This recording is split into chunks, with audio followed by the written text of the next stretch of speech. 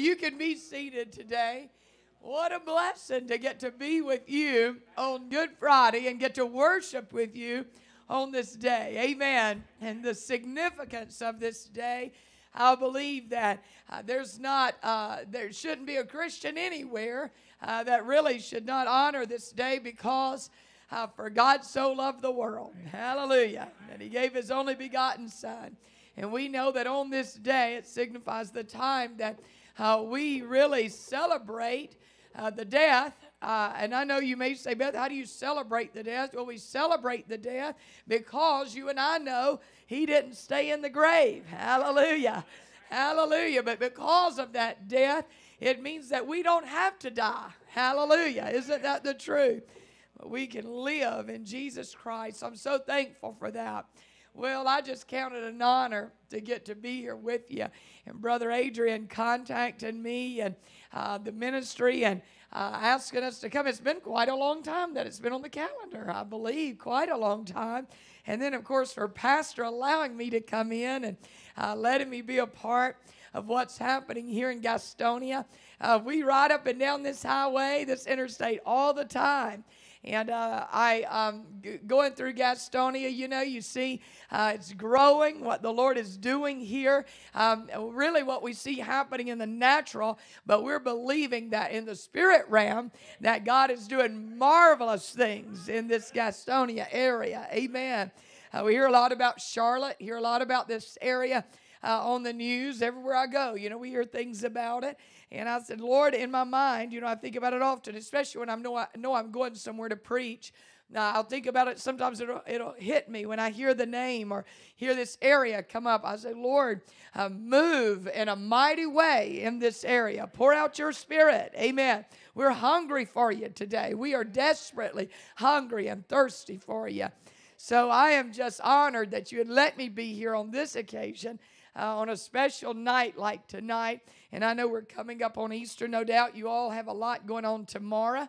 And so the fact that you would take a Friday night and to come and be with us in the house of the Lord, well, it just lets us know, and I believe more than us, it lets the Lord know just how just how hungry we are for him. Amen. Just how much we do truly love him and, and are so thankful for what this day really signifies. I want to say just real quickly how good it is to have my husband with me, Kurt. Uh, he travels with me quite a bit. Last year was a little bit of a different year for us. Uh, we had a lot of things going on. His mother went to heaven right before Thanksgiving. He was able to spend quite a bit of time with her uh, before she left this world, and and um, I'm thankful for the time that he was able to spend with her. Uh, but I'm also very thankful to know that uh, she's running around on the streets of gold. Amen. And he's back on the road with me. I'm grateful for that. Uh, Kurt, why don't you just for a minute just come up and just greet the people if you would? Just take a moment to do that. Amen. Lord, I can't think of anywhere I'd rather be than in a house full of Christians worshiping the Lord on Good Friday. Amen. It's Good Friday. Amen because He is good. I'll tell you, it is a wonderful time just to think about. I was thinking about the scripture where He humbled Himself and uh, becoming man, more than a man, a servant, even obedient unto death. You know, nobody took His life, He laid it down. Throughout ages, there's been kings and dictators and rulers that have required uh, you to their their people to give their lives for them. But we have a king that gave his life for us. Amen. I tell you what, I feel the Lord in here tonight. Amen. I tell you, we're excited and glad to be here, and we feel the Lord is moving. I, will tell you, what an exciting time to be alive. I tell you, if you're, what an exciting time to be alive and Christians. It is time for the church to be the church and be bold and bright and, and, and draw some lines. Amen? And I am excited about that and excited about what the Lord has for us tonight. And, uh, and I've already met, seen one lady here, and I know I've seen her somewhere before, and I think I'm seeing a few other faces that somewhere I've seen you, but it might be just because we got a like mind and a like spirit. Amen. Bless you. Good to be with y'all tonight. Amen. Amen. Praise the Lord. Well, my mama told me before we got here, she said, Don't let Kurt have the microphone. He might try to take over. I said, Well, she's teasing, of course, but um, I'm glad that he's able to be with us today. Open your Bibles, if you would, to Luke chapter 8. Luke chapter 8, a familiar scripture, uh, but I want to share with you just a little bit, uh, maybe a thought uh, you may have had before, but possibly uh, just something fresh and new that the Lord wants to uh, open your eyes up to, open your spirit up to, uh, believing the Lord to um, just to open our eyes. Uh, to something today, and maybe if you've already heard it, you already know. Maybe you've thought about it before, but that the Lord would just stir our hearts. Amen. So, Luke chapter 8, while you're turning there, I just want to take a moment today uh, to tell you we just um, we've been in revival in uh, close to Florence, South Carolina. Thus, the, my voice uh, sounds like this. It always sounds fairly raspy, uh, but today it's um, a little more than normal.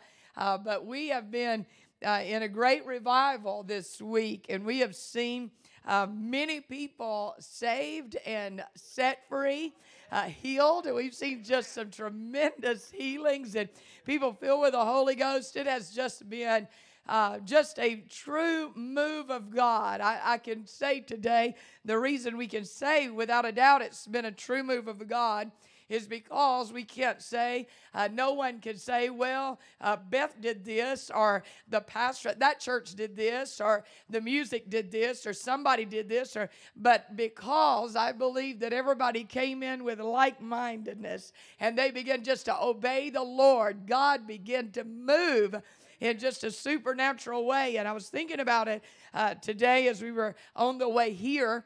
Um, I just said, Lord, I thank you that the revival as far as the services that we were a part of, uh, that part of that revival is over. Uh, but thanks be to God that the Lord's not finished. Amen.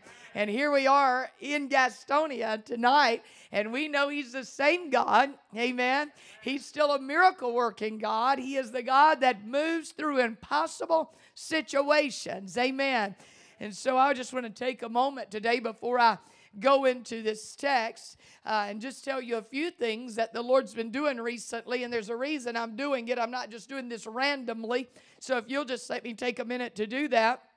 We're in Harlan, Kentucky not too long ago a lady come down to the altar. I believe she might have been a Catholic lady, and she came with some friends.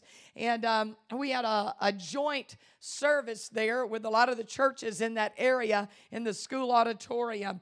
And the lady came down, and she had pancreatic cancer and uh, tumors all over her body and uh, really was, uh, I think I could say it like this she was really a, walking dead lady, just about. Uh, when I uh, was praying with her, they started telling me some of the things that was going on with her. It was one thing after another, after another. A lady, a group of us ladies gathered around her and began to pray with her. And I'm telling you, I heard the Lord begin to speak. It was the most powerful thing. We began to lay hands on each part of her body that, uh, that had uh, sickness or disease in it.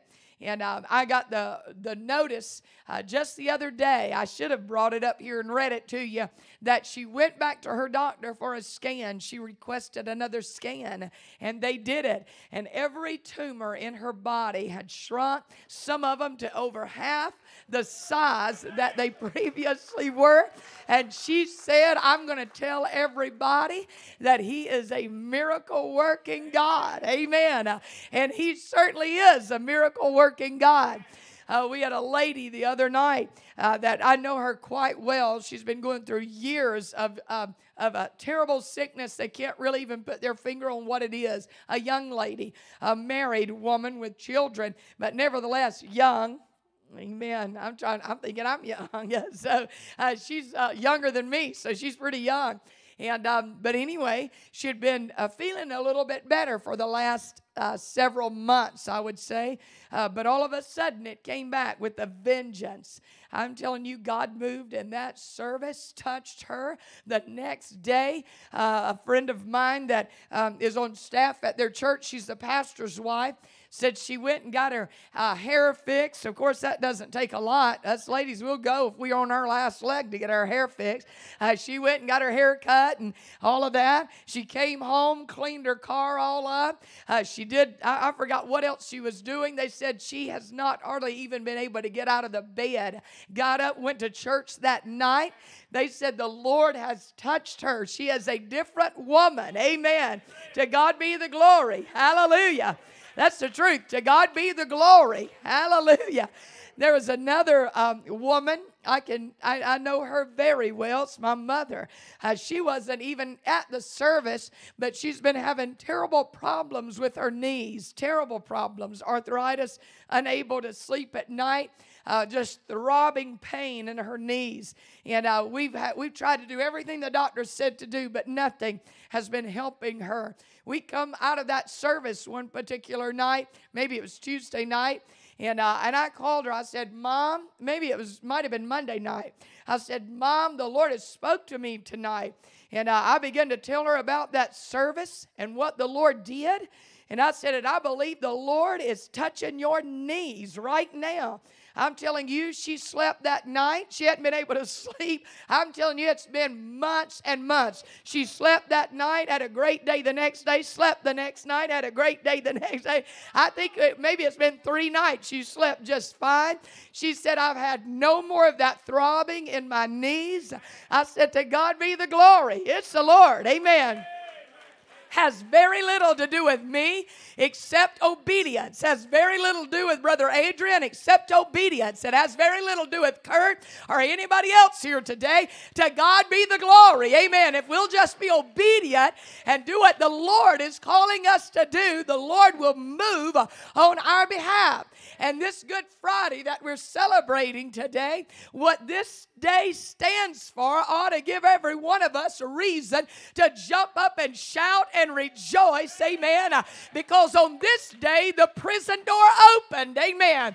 On this day, people were set free. On this day, blinded eyes were open. On this day, amen. I can tell you, sick bodies were made whole. On this day, we declare that by his stripes we are healed and we're leaving changed and we're leaving different. I want to say it again, not because of who I am and not because of who you are, but because of the Lord, because of the cross, because of the blood, because of the stripes, because of an empty tomb, because today, hallelujah, what He did on Calvary, He did it for you so that you can be changed and different and whole. Hallelujah. Today, I declare that this is not just a Friday, but it's a wonderful Friday. Hallelujah. And we worship the Lord today. Amen. Our King of Kings and our Lord of Lords. Somebody say to God be the glory. To God be the glory. Hallelujah. Woo! Hallelujah. Praise the Lord. To God be the glory.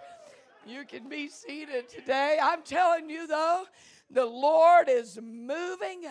The Lord is desiring to move for His people. I believe that with all my heart. Praise the Lord. And I'm one of His people. Amen. I'm one of His peeps. Thank the Lord. And I receive it today, just like you do. So thank the Lord for this. Well, let's go right to the word of the Lord. Hallelujah. Nothing like testifying. We're overcomers by the blood of the Lamb, by the word of our testimony. The fact that we're willing to give up our life for the sake of the gospel. Amen. So let's go right here to the word. Hallelujah. Luke chapter 8, verse 41. Like I said, you'll recognize it. It says, And behold, there came a man named Jairus, and he was a ruler of the synagogue. And he fell down at Jesus' feet and besought him that he would come into his house, for he had only one daughter, about 12 years of age, and she lay dying. But as he went, the people thronged him. And then, you know, if we kept reading, it would be about the woman with the issue of blood where he healed that lady there. But then go to verse 49, if you would. It says, While he yet spake, there cometh one from the ruler of the synagogue's house, saying to him, Thy daughter is dead, trouble not the master. But when Jesus heard it, he answered him, saying, Fear not, believe only, and she shall be made whole. And when he came into the house, he suffered no man to go in, save Peter and James and John, and the father and the mother of the maiden. And all wept and bewailed her. But he said, Weep not, she is not dead, but sleepeth. And they laughed him to scorn, knowing that she was dead. And he put them all out. I love Jesus. Amen. And he put them all out. I love that. And he took her by the hand and he called, saying, Maid, arise. And her spirit came again, and she arose straightway. And he commanded to give her meat. And her parents were astonished, but he charged them that they should tell no man what was done. Amen. Let's go to the Lord in prayer, if you would, today. I believe you're comfortable praying out loud with me. I'd love for you to do that. Let's lift our hands to heaven and believe God for the remaining part of this service. Come on, pray with me. Father, we thank you for what you've already started in this house. We thank you for your wonderful, precious spirit that we sense in such a mighty way here. Lord, I ask you just to move. I ask you to speak to hearts and lives. I ask you to flow through me, Lord. I declare it tonight. I can't do it on my own. I declare it. I need you, Lord. I need that strong, strong anointing, Lord, because we know it's the anointing that will destroy yokes and bondages. So give me a refreshing, Lord, of that anointing in my life, in my heart. Open up every ear here today to hear the words of the Lord. Open up everybody's eyes that we can see past the natural into the supernatural. And Father, for everything that's accomplished, we give you praise and glory and honor. In Jesus' mighty name we pray. And everybody say, Amen. Amen. Praise the Lord. Well, let's just take a few moments. If you're timing me, I've only been testifying so far, so that doesn't count. So if you're timing me, start now. Amen. but it's Friday. Y'all don't have to work tomorrow. So let's just see what the Lord has for us tonight. Amen. So I want us to look also at one other scripture here, and it's in Second Timothy chapter 4 and verse 7. I'll read it to you. You'll recognize this scripture as well. Second Timothy 4 and verse 7. It's where the apostle Paul was speaking. He said, I have fought a good fight. I have finished my course and I have kept the faith. And tonight that's what I want to preach about is keeping the faith. So when I look at Jairus here from the text that we read, we see that he had faith. We know that because he went to Jesus. He had faith, but the key is that he had to keep the faith.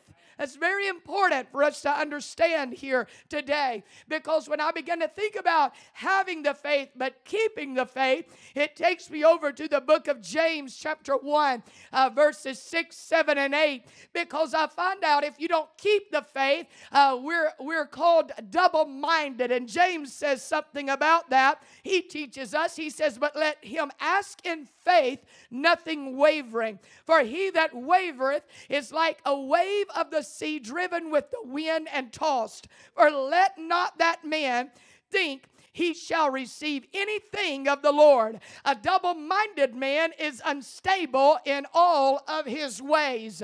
And so today, you and I must lay claim to the words of the Lord.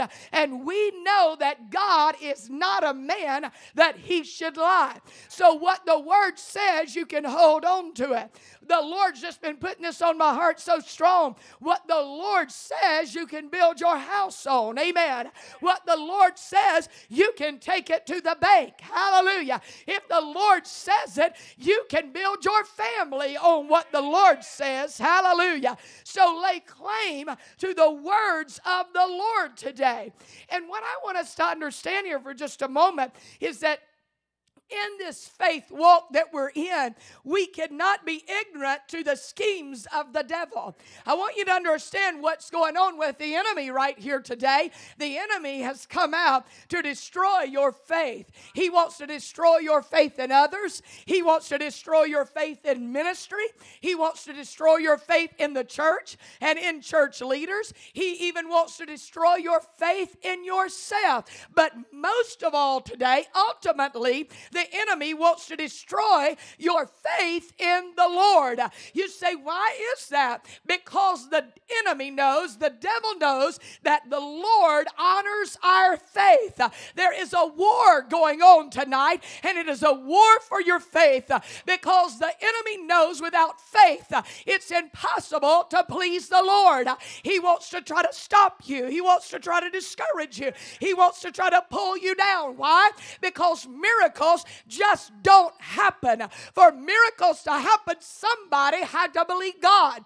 For miracles to happen, somebody had to believe the word of the Lord. Over and over in the word of God, we find that somebody had to take a step of faith to receive their miracle probably one of my favorite places and if i'm not careful i'll preach too much about it but but it's so powerful. But let me touch on it at least for a moment. One of my favorite places in the bible is where the woman had a lot of debt and she didn't know what to do. You remember the prophet showed up goes into her house. He says well what do you need? She was a widow woman. What do you have in your house? She says all i have is a little bit of oil. He said that'll do the job. This is what I need you to do. He said, I want you to go and borrow empty vessels and borrow not a few. In other words, he said, get, get as many as you can. Even if they're Tupperware, go get Home Depot buckets. I don't care if they're butter dishes, as big as you can get them, get them. Amen. I'm telling you, that woman had to leave that house and go and borrow empty vessels from her neighbors and from all around. There was an effort demanded on her part. And I can tell you today, the Lord wants us to believe enough that we're willing to step out in faith and say, Lord, whatever you want me to do, I'll do it. Amen. Whatever you want, I will do it. I even look at Jesus there in the New Testament, and you remember that he spit on the ground and he put that mud on that man's eyes. You say, Why did that happen? I don't know, but it worked. Amen. I don't know why Jesus did it like this. He said, Now I've got this on your eyes, go and wash. And you remember the man had to leave and do something by faith. And when he did it, you know what happened. Blinded eyes open. Hallelujah. I want to encourage you today. You say, Well, I don't understand that. I don't either. But if God says to do it, I encourage you just do it. Just believe. Just operate today in that realm of faith through obedience. Amen. Woo! Praise the Lord. Now, there's a lot of people today that will say, Well, I, I need a miracle, but if you'll just lay hands on me, anoint me with oil, I'd appreciate that. You know, that'll be good enough for me.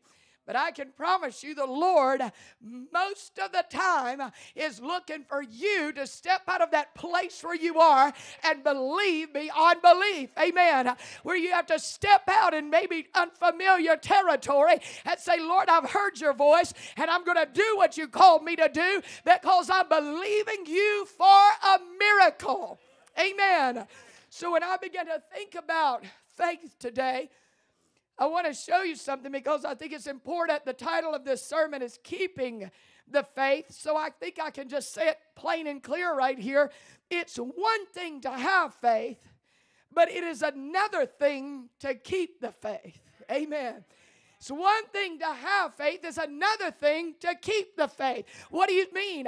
I believed yesterday, but I'm still believing God today. It didn't happen yesterday, but I'm still not giving up today. I'm still not going to doubt because it didn't happen yet like I thought it would.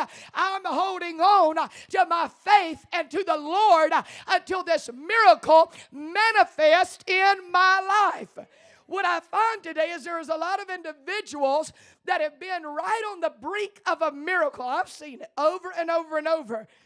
Right on the brink of a miracle, and they missed their miracle simply because they lost faith in God and in the word of the Lord. You say, How could that happen? It's because the enemy is fighting so hard, like I said a moment ago, to steal your faith, to destroy your faith. I want to say it one more time. There is a war going on for your faith. And I can tell you today the day that you give up on the word, the day that you wash your hands and throwing the towel on faith uh, is the day that your miracle will begin to just float away from you. Whatever you do, I'm glad you've had the faith, uh, but I want to encourage you to keep the faith. Amen.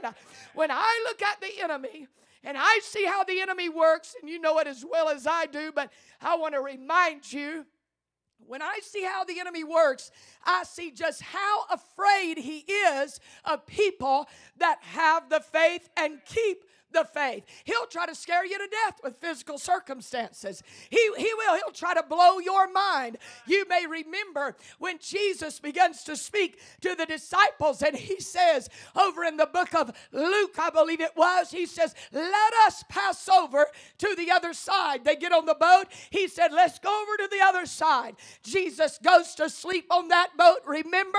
And a storm blew up. I mean, it was an awful storm. Water begins to fill up that boat. The disciples tried to start getting the water out, trying to get all that water out of the boat. They're in an absolute panic. And they go down there like, Jesus, what in the world? How are you asleep? Do you not even care that we're about to die? Anybody in here ever felt like that? Don't you see I'm about to go under? Don't you see I can't hardly make it another day? Don't you see how hard this is on me? I'm telling you, there's something that the disciples forgot. And this is what they forgot. They forgot that the word of the Lord had already come to them, and the word of the Lord was, Let us pass over to the other side. He didn't say, I'm going to get you halfway over, and y'all are going to die out there, and you're going to, some of you going to make it, some of you won't. He didn't say that. He said, Let us pass over to the other side. And what I want you to see there is this. When the Lord speaks it, we said it a minute ago, I'm going to say it again. You can build your house on it, you can take it to the bank. Amen. When the Lord speaks the word, the word itself will carry you over to the other side. The enemy will try to scare you with the storm, he'll try to scare you with water filling up your boat. But don't you get your eyes on your circumstances. Instead, keep your eyes on the Lord, keep your eyes on the word of God and I don't care how bad it gets, uh, the Lord can take a boat full of water and He can get it all the way to the other side. Uh, he's a miraculous God, and with the Lord, nothing is impossible. If He wanted to fly that boat to the other side full of water, that's how great our God is. Nothing's too big for our Lord. Hallelujah. Praise the Lord. Whatever you do, keep the faith. I don't do this a whole lot, but I think it's important sometimes. Look at your neighbor and say it like you mean it and don't mumble and don't blah, blah, blah, blah. Say, keep the faith. Amen. Keep the faith.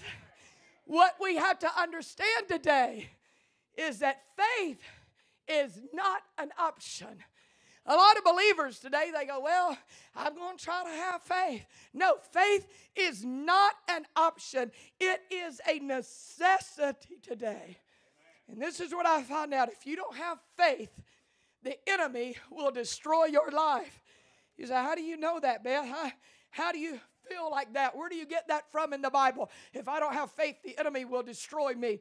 Well, I want to take you over to Ephesians 6 and 16. I want to take, I'm going to get back to Jairus in just a minute. But in Ephesians 6 and 16, you remember the scripture? It's about the whole armor of God. But in verse 16, it says, Above all, taking the shield of faith, wherewith you shall be able to quench all the fiery darts of the wicked. One of the reasons that so many people are weak and they're run over by the enemy is because they've not had the shield of faith up in their lives. And you can rest assured that the enemy's not going to fall down on his job. Even if you've got the shield of faith up or not, I can tell you what's hitting you. They're not just plain old little darts, they're not just a little push here and there from the enemy, but they are fiery darts that the enemy is shooting at you, and it is piercing people's minds, it is piercing their souls. It, those things are piercing in people's hearts. Uh, that's why we see so many Christian people who cannot seem to walk in the victory, who cannot seem to come out of the valley. It's because our shield of faith has been down and the enemy is doing his job uh, and he's attacking. But if you will walk in faith today, uh, you've got that shield of faith up. I don't care how many fiery darts he sends, I don't care how many times he tries to take you down through faith in God, you will walk out with the victory. Amen. Amen. Woo. So it's imperative that you have faith in God. It's imperative that you and I believe in God. Anything, I know I've said it, but anything can happen if you'll start believing God, if you will start having faith and operating in the realm of faith. I want you to know something today. When you begin to think about faith and you go, well, you know, it's just kind of an option. I, I know I feel like today I'm kind of repeating myself a little bit, but for some reason it just keeps coming back in my spirit. So I'll just, Jesus said, and again I say unto you, Amen. So, and again I'm going to say it to you. But here's the deal without faith, you cannot please the Lord. And when you come to Him, you will be rewarded by him if you do have faith. How many times have we seen in the scripture? Uh, I could think of some right now in the scripture where God, the, the, where Jesus went into a town, into a city, or among a group of people, and because there was no faith, he left. Now, I was going to be honest with you. I don't need the Lord leaving. Amen. I need the miracle. I want you to know that today. I'm not just preaching this for you, but I'm the one. I need a miracle in my life. Amen. I'm ready to see some breakthrough in my family today. I want to be full of faith. I want to be believing God and trusting in the Lord today. I want when the Lord looks at me for Him to be pleased. Amen. I want Him to be pleased with me, not because of all the right things I do or don't do or wear or don't wear or say or don't say, but because because I have faith in Him. Amen. Amen. Hallelujah. So let me go back to our text now. Hallelujah. And I want to show you this. Jairus, he has a problem. But we all know today that he came to God with a heart of faith. He exercised his faith because he says, Lord, if you will come and pray for her, she will be healed. There you go faith in the Lord. How many of you know today the scripture faith comes by hearing? Now, you may not realize this, but I, have got some encouraging words for you. You have more faith right now than you did when I started this message, I don't know, 10 minutes ago. You've got more faith right now. You say, Well, how do you know I've got more faith right now? Because I've not talked to you, but I know what the word of the Lord says. And the word of the Lord says that we have faith. Faith cometh by hearing the word of the Lord. Isn't that right? So you've been hearing the word of God, and as you've heard the word of God, your faith builds. Now, if I could, I would get a hold of you with this oil. Me and Pastor and Brother Adrian and, and Kurt would get a hold of you with this oil. If oil, anointing you with oil, could get you give you faith, we'd get the whole Crisco bottle. Amen. We'd come down slathering it up and down these. I'd slather some right on myself. I would. I wish anointing with oil could give somebody faith. But the Bible doesn't say that's where faith comes from. I can't lay hands on you and cause faith to come. But what I do know is that faith comes by hearing the word of the Lord. Amen. And I know I'm preaching to the choir right here tonight. But if you don't mind, I'm just going to go ahead and say it anyway. I can tell you that is why it's so imperative for you and I to be in the house of the Lord. That's why it's so imperative for us to be a part of Bible study. That's why it's so imperative for us to come together. A lot of people say, well, that's just old timey. No, I want you to know it is the plan and the scheme of the enemy to keep you out of the house of God because when you're in the house of the Lord and the word is being preached and the anointing of God is flowing, the word will begin to penetrate your heart. And guess what happens? Woo! Faith begins to grow. And what happens when faith grows? We please the Lord and we see miracles and we see signs and we see wonders and we see lives changed. Amen, somebody. Isn't that the truth? Hallelujah. I won't get real deep on here because real involved in this because y'all don't know me good enough and I don't want y'all to be mad on Friday night on Good Friday. But I will never be convinced otherwise that that is why we have some church buildings today that only have their lights on on Sunday morning. I mean, my word, we used to say we don't have Sunday night service anymore.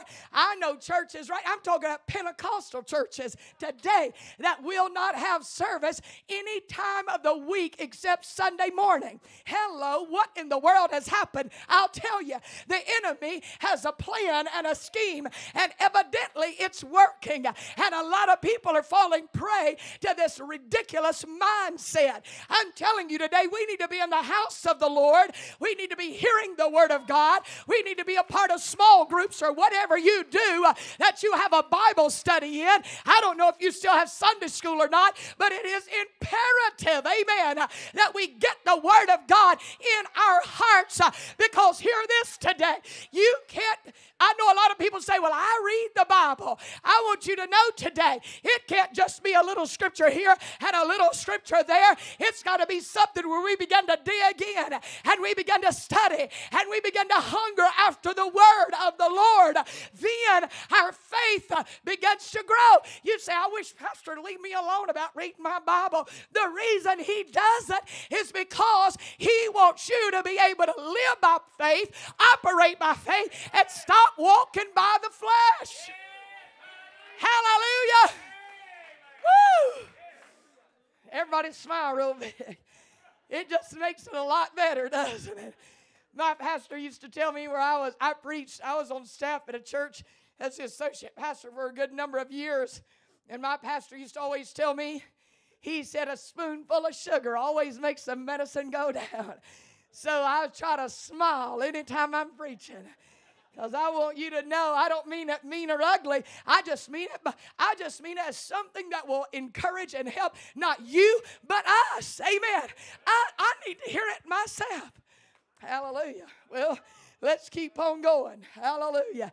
So I began to look today back to Jairus, and I want you to see something. I want you to see what happens. He comes to Jesus. I kind of shared that, but let me read that, that scripture in chapter 8 of Luke, verse 41. And behold, there came a man named Jairus, and he was a ruler of the synagogue.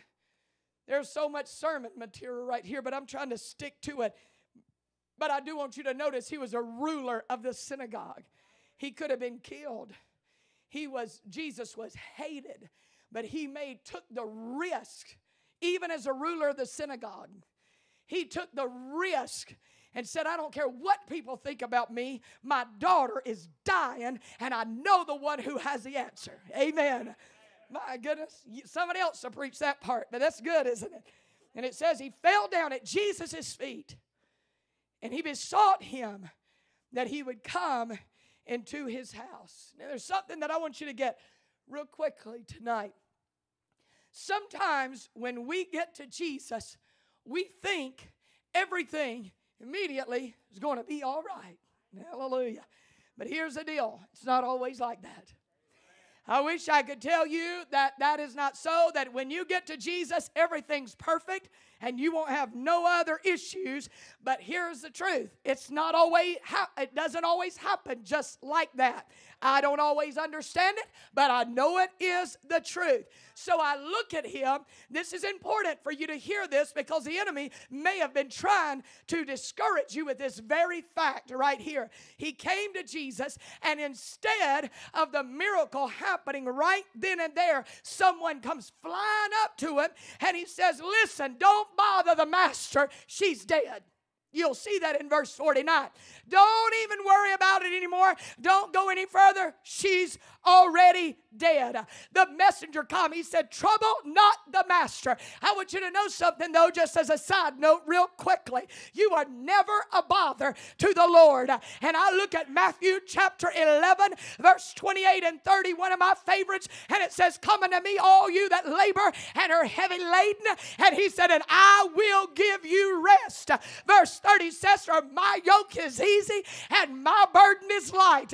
I don't care if you've come every night to the altar, come back again. I don't care if you've prayed and asked the Lord every day, pray again.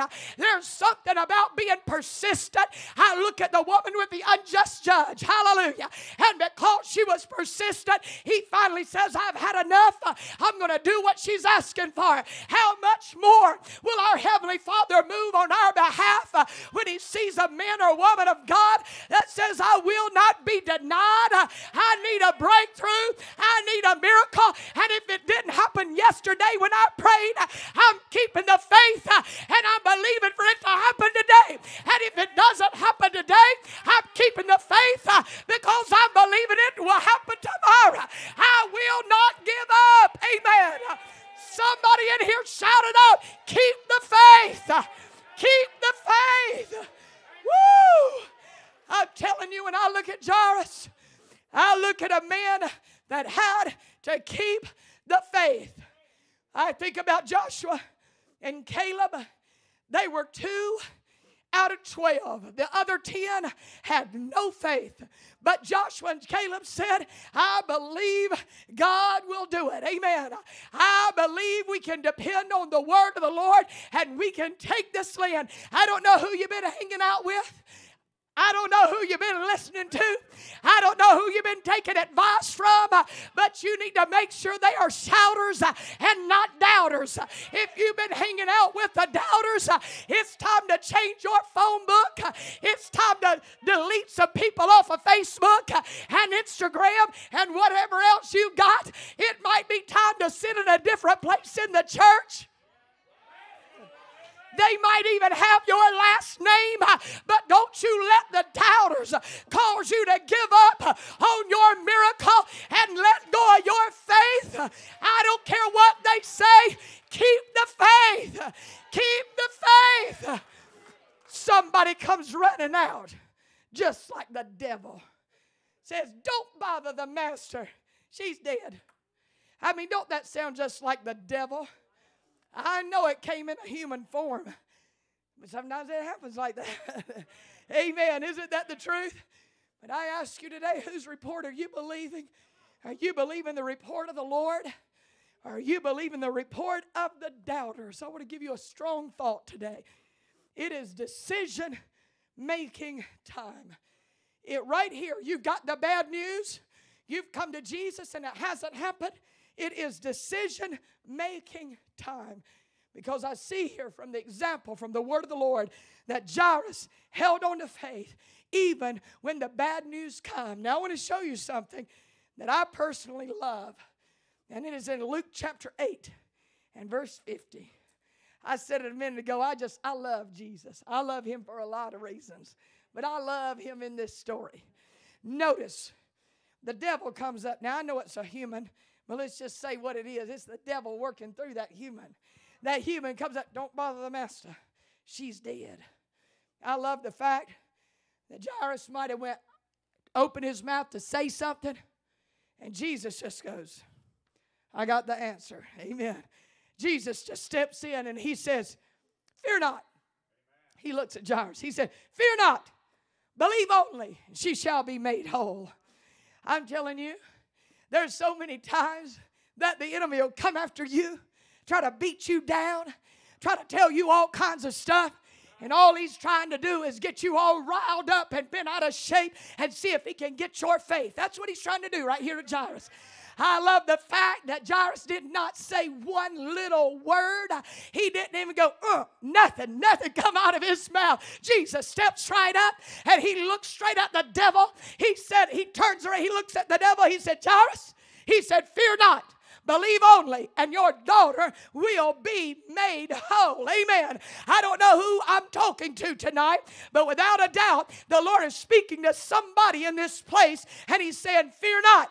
Keep the faith because fear will never see a miracle from the Lord. Keep the faith even when bad news comes. Keep the faith even when the enemy will try to throw you the worst one two punch he can. Because if you let fear come in, fear will cancel out your faith and fear will paralyze you and you will not be able to move ahead in what God's wanting to do in your life. Fear not. So after the bad news, Jesus said, wasn't before, after the bad news, Jesus said, Fear not. Why did he say that? Because Jesus has already been moving on the scene. He was already on the way. He might not have gotten there yet, but he was on the way. And I'm reminded of that old song we used to sing sometimes that says, I've got a feeling everything's going to be all right. Hallelujah. I remember one great evangelist, you probably all know him. I remember when, when I was at the church there in Griffin, Georgia, had Perry Stone come to our church, he got to singing that song. Of young, young people people don't know the song, but you need to know it. Amen. I remember he said, I got a feeling everything's going to be all right. Oh, you remember? But then he says, The word of God's done told me everything's going to be all right. Oh, the word of God has done told me everything's going to be all right. I'm telling you today, I don't know what the doubters are saying. I don't know what the devil is saying. I don't know what kind of news uh, you may have gotten uh, but hold on. Uh, keep the faith because the Word of God has done told me everything is going to be all right. Hold on. Only believe. Don't give up now. Hallelujah. Somebody tell your neighbor again keep the faith. Keep the faith. Woo! Hallelujah. Uh, I will tell y'all. I don't know who Ric Flair is, but somebody said, You holler like Ric Flair. I said, All I know is it gets so big on the inside of me, I can't hardly take it. And about the only thing I can get out sometimes is a woo, amen. Hallelujah. You say, Beth, I don't even know how to hardly keep the faith. When the bad news come, look to heaven and say, Woo, I'm depending on you, Lord. I'm trusting in you, Lord. Amen. Hallelujah. Praise the Lord. Just so y'all know, without these high heels on, I could preach all night right here. Amen. It is powerful. Somebody says, Why do you wear those heels when you preach? I said, It is insurance that you get out on time, honey. Amen. Otherwise, you'd be here all night. The Lord gets to moving like this. I'm telling you that there's so much that comes up into your spirit. Woo! It's exciting, isn't it? Keep the faith, somebody. Keep the faith. I want you to know something now. This is important here. I'm just about to close, but not quite. So don't get on the keyboard or nothing yet. Give me another minute or two. But I want to show you something that's very important today. Sometimes the Christian walk, now this might be news to some of you, but I mean in all seriousness and sincerity to you. And for us to understand and learn this, sometimes the Christian walk is going to be hard. Sometimes it'll take everything you've got just to keep on going. Say, what do you mean? People thought that people you thought were going to stand with you aren't standing with you anymore. People you thought were going to be right there to hold on with you aren't holding on anymore. You know what I'm talking about? I'm sure you do. All of a sudden, they've changed your, their minds. All of a sudden, it's like you're out there by yourself.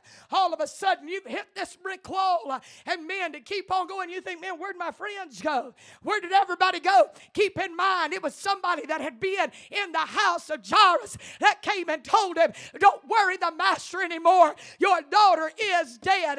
But I would encourage you right here whatever you do, don't get discouraged when the doubters come just because you got a crowd don't mean you've got a good thing.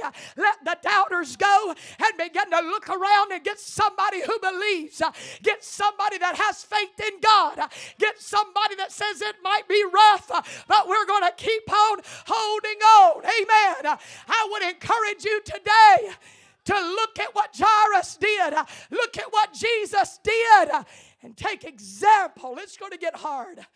Here's the news, though. I know it's hard to believe, but he gets there to the house and nobody's going, we're having a prayer meeting and believing God. We've anointed her with oil. We're believing. I know it looks bad, but come on. I know Jesus is on the way. We're going, no, they're whining and crying and mourning and, oh, it's awful. It's bad. Oh. And then when Jesus steps in, he, he goes, look, y'all, just chill out. She's not dead. She's only asleep. Then uh, you find the Bible says, then they laughed him to scorn. Let me read you the word says, And when he came into the house, he suffered no man to go in, save Peter, James, and John. We're going to touch on that in just a second. And the father and the mother of the maiden. And they all wept and bewailed her. But he said, Weep not. She's not dead, she's just asleep. Amen. And they laughed him to scorn, knowing that she was dead. This is what you say to the doubters. Laugh if you want to. Scorn if you want to. But at the end of this thing, we're going to see who is enjoying the blessings of the Lord and the breakthroughs of the Lord. There is a time when we are having to draw the line, and let me be more specific than that. There's a time when Jesus is drawing the line between the believers and the unbelievers because you recognize it's right here when Jesus told them to get out. Amen. You say, What's going on? I'm not asking you today if you're a Christian. You can't believe how many people you'll meet on the street and they'll say, I'm a Christian. But I'm not talking about Christians right here. I want to ask you the question today Are you a believer or are you an unbeliever? Amen. Are you a believer or are you an unbeliever? You say, What do you mean? Do you approach God with faith? Do you believe God will move on your behalf? Do you know that God will work a miracle for you? I want to know are you a believer or are you an unbeliever? See, because the time comes uh, when the Lord says, uh, if you're not a believer, you got to get out of the house. But if you're a believer, stay in here. Amen. And you can watch and be a part of the miracle working power of God. Hallelujah.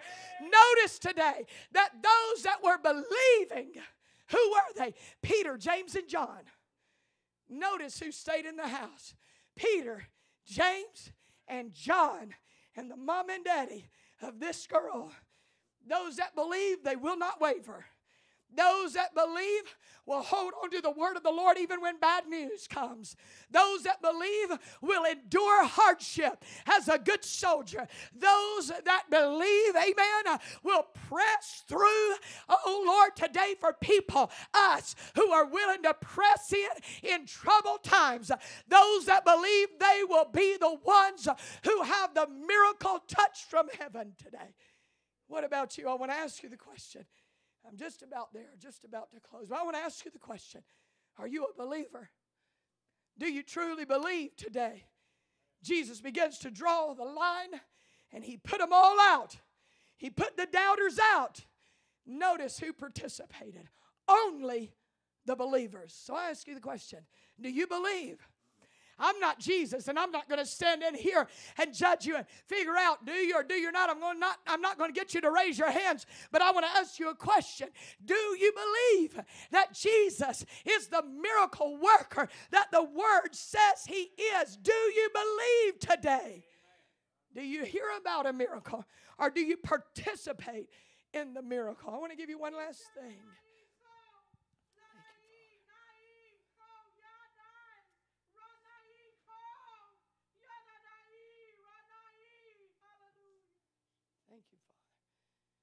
Obey the Lord if the Lord gives you that interpretation right now. Amen. Thank you, Father. Fear not, saith the Lord, for I have not forsaken thee. I have not turned my back on thee. Thank but you, I have been with you through the trial. I have been with you through the valley, and I will bring you up to the mountaintop. Don't lose faith. Hold on to that which I have given you. Remember the promises that I have given you. you Place Father. them inside of your heart yes. and come after me this night, and yes. I will meet you here, saith the Lord of Lord. Give the Lord a praise today. Hallelujah. Just thank Him for speaking to us like this tonight. Hallelujah. Just lift your hands for just a moment today and just give Him praise. Thank you, Lord. Thank you, Lord. Thank you, Holy Ghost. Thank you for speaking to us tonight. Thank you, Lord. Thank you, Father. Hallelujah. We love you, Lord. We love you, Lord. Thank you, Father. Thank you, Lord. I don't know who you are in this place, but the Lord is speaking to your heart. If you'll help me to close. I don't know who you are today, but the Lord is speaking to your heart. Here's the thing that I want you to see. When that daddy walked up into that house, it didn't get a lot easier.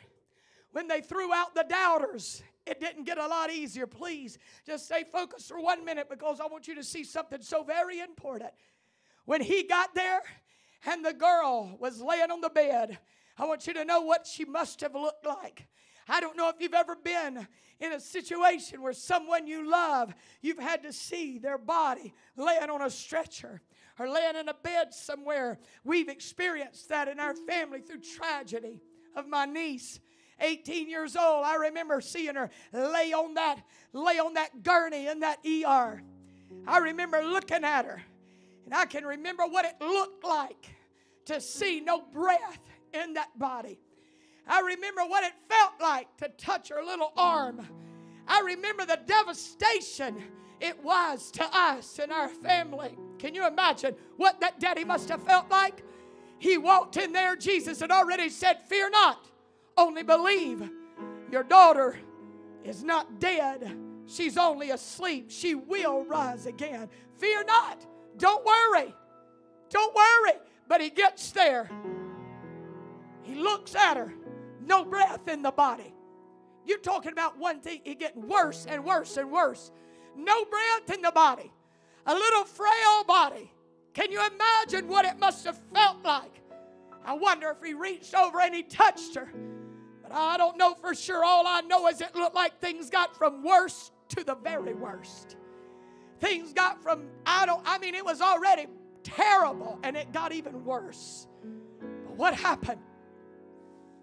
Jairus had to make a decision. And his decision was I'm going to keep believing. I've already had a word from the Lord and I'm going to keep believing. I already know what God is speaking and I'm not giving up now. I've already come too far. Jesus has already come to my house, and I'm not going to stop now. I want you to know something today. Whatever you do, know this.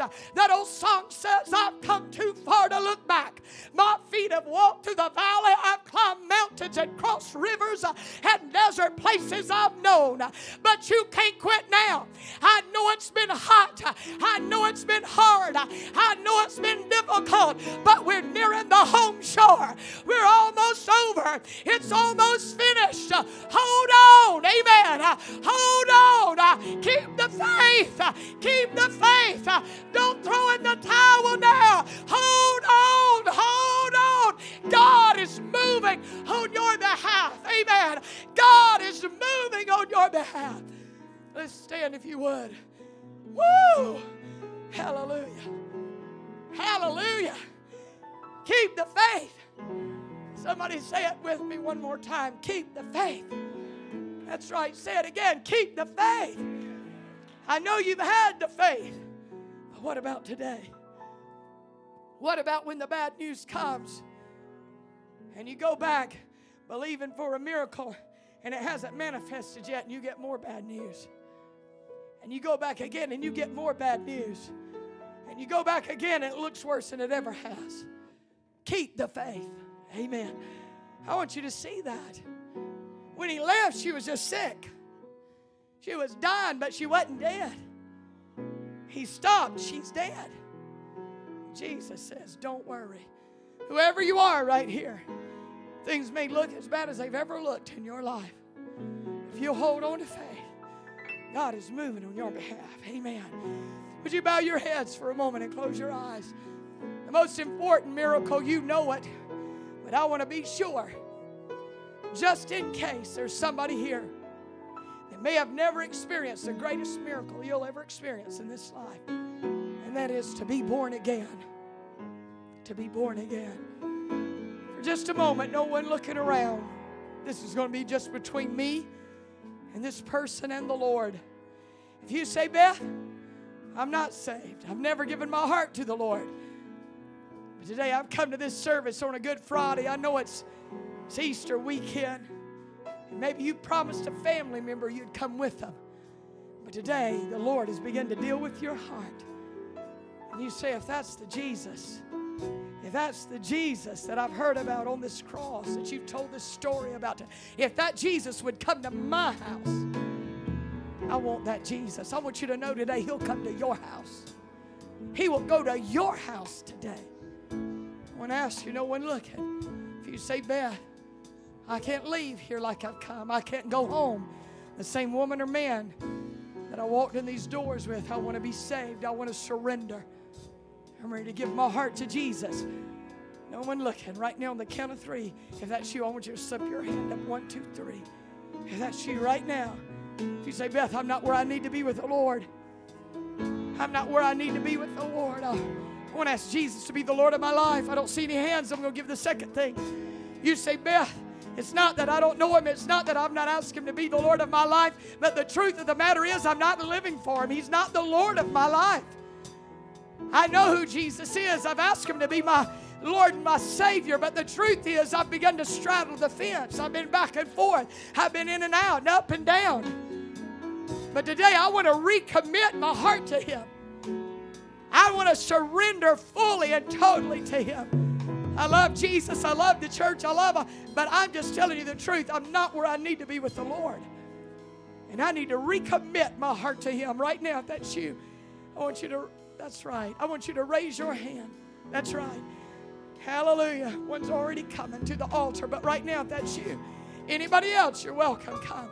Anybody else, you want to raise your hand? You say, Beth, that's me. I'm not where I need to be with the Lord. Is there anybody else? Anybody else? You say, Beth, I'm not where I need to be with the Lord. I've been straddling the fence. I've been up and down. I've been in and out. My life's like a roller coaster. When I'm desperate, I'll call on the Lord, but when things are going good, I find myself kind of straying back. Anybody else right now? Do you want to raise your hand and say, It's me? I see your hand. Thank you. Anybody else right now? Then I want to ask you the last thing before I open these altars up to everybody. You say, Beth, I need a miracle in my life. I need a miracle in my marriage. I need a miracle in my physical body.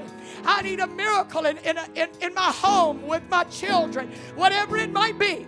You can say, I am in dire need of a miracle like this man like this man who was that leader in that city. I need a miracle. And I've come to this house, and my faith might have been a little weak, but through the word of the Lord, my faith has been lifted up, and I believe, amen. I believe if that's you and you say, I need a miracle, I don't care what kind it is. Maybe you've been overrun with depression. The Lord is here to set you free. Maybe that's tormenting spirit has been keeping you up at night. The Lord is here to set you free. If you say, Beth, I've gotten bad news, the Lord is here with some good news for you today. If that's you and you need a touch from heaven, on the count of three, if you raise your hand for any of these things, these altars are open. On the count of three, would you come? One, two, three. Come on right now on this Good Friday. Let's come around these altars. I'm going to ask all of you altar workers to get ready. All of the leaders in this house, get ready. We're going to lay hands on them. Come on, that's right. If you want to stand, you can stand. If you want to kneel, you can kneel. The Lord is in this house. Amen. The Lord is in this house. That's right. Hallelujah. Come on, anybody else? You want to come? Now's the time. The miracle worker is here. The miracle worker is here. Hallelujah. Hallelujah. Anybody else?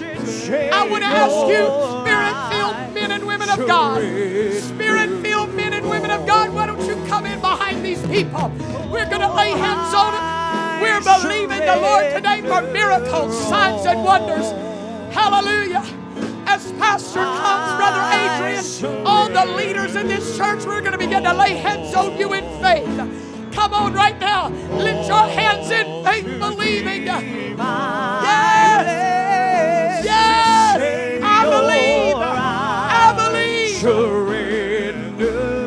I believe. Church, lift your hands this way. Let's begin to pray.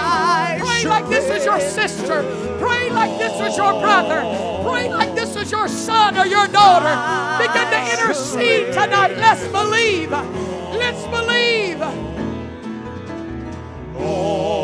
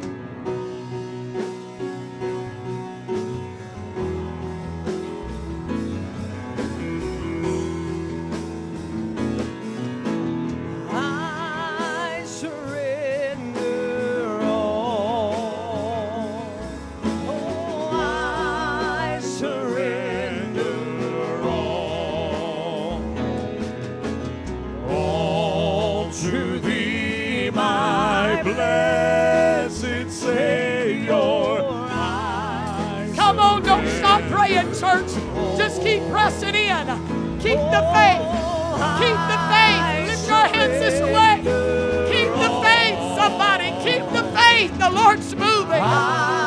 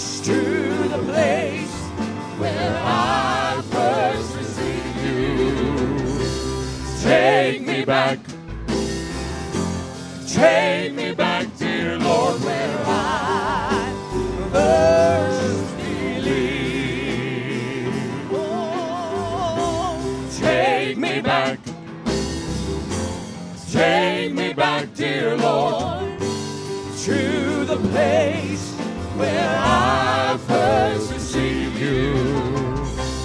Take me back. Take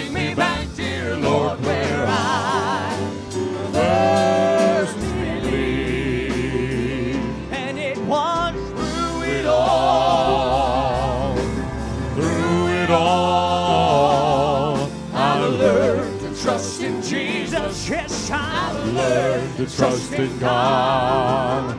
Through it all, through it all, I have learned to depend upon His word. Through it all, through it all, I have learned to trust in Jesus. Yes, I've learned to trust in God.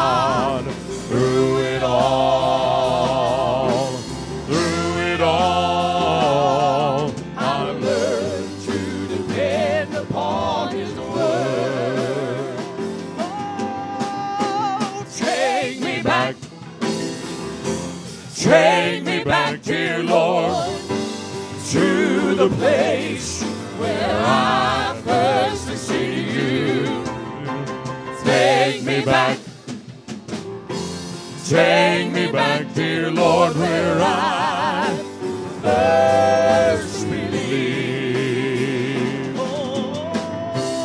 Take me back. Take me back, dear Lord, to the place where I first received you. Take me back. Take me back, dear Lord, where I first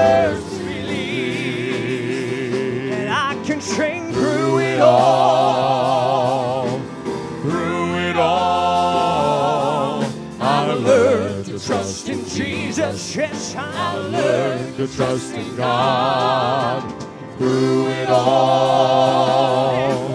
Through it all, I learned to depend upon His word.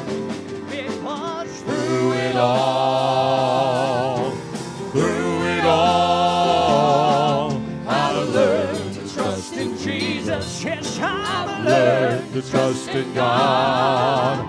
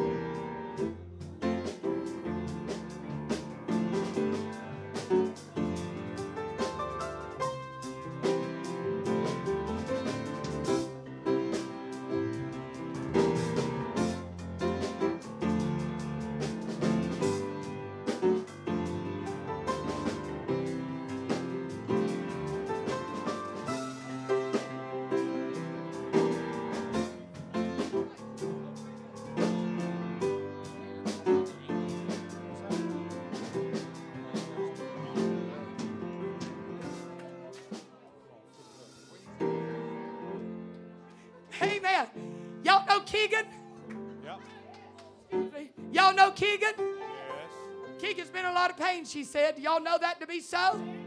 Y'all know it? Y'all have heard? You know about it? Keegan, are you hurting right now? No. Were you hurting when you walked in the church? Yes. But you're not hurting now. No. Your stomach? No. Your back? No.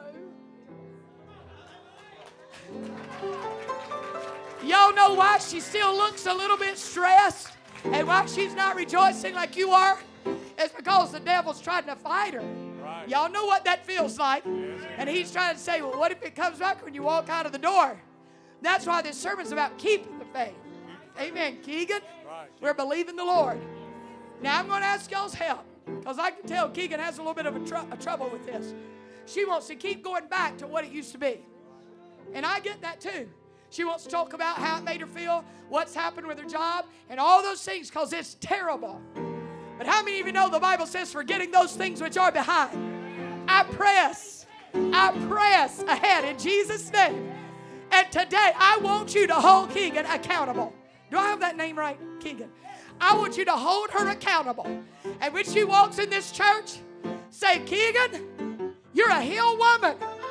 And if she don't say glory, hallelujah, that's exactly right. Jerk her head up and say glory, hallelujah, that's exactly right, Keegan. Say it. Say it with me, Keegan. Say, by his stripes, By his stripes I am healed. I am healed. I am healed. I want you to know tonight we're going to lay hands on her. And I want you to agree with me today. Because we call what the Lord has done right here sealed with the shed blood of Jesus Christ. We call this healing sealed with the shed blood of Jesus Christ that she will not go back, that the Lord's restoring her mind, that the Lord's restoring her heart in Jesus' name, and everything that the devil stole from her, that the Lord is turning it around in the name of Jesus. I am healed in Jesus' mighty name. Uh, somebody give the Lord a shout, a shout, a shout of praise. Woo! My goodness. Hallelujah. Let's keep praying. We're not quite through. It's Friday night. We still have time. Shut your heads up this way. God's still moving in this altar. I just needed somebody to believe God with Keegan and if any of you ladies want to come up beside her that's full of faith, I'd love for you to come on up here. Come on up here. Hallelujah. Come on up here. I'm going to keep on praying, but I want somebody to pray her all the way through. All the way through.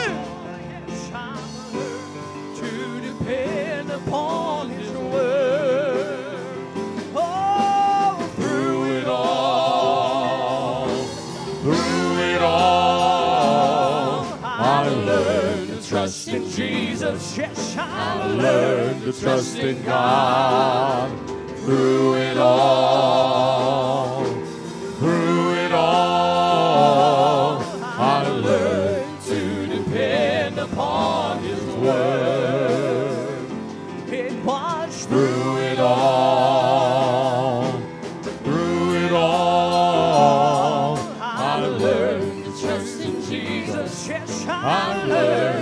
learned trust in God. Through it all, through it all, I learned to depend upon His word. Oh, take me back, take me back, dear Lord, to the place where I first me back. Take me back, dear Lord, where I first believed. Take me back, Lord. Take me back. Oh, take me back, dear Lord, to the place where I first received you. Take me back.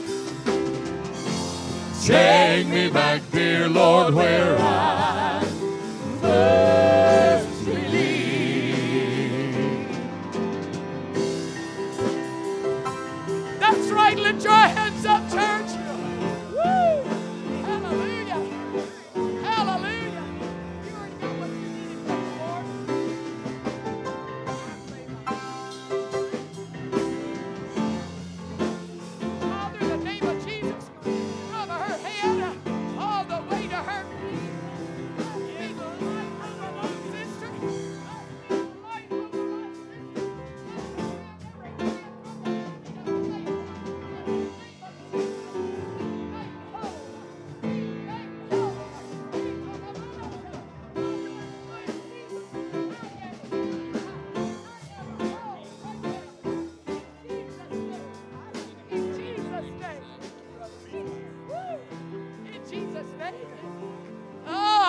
believe.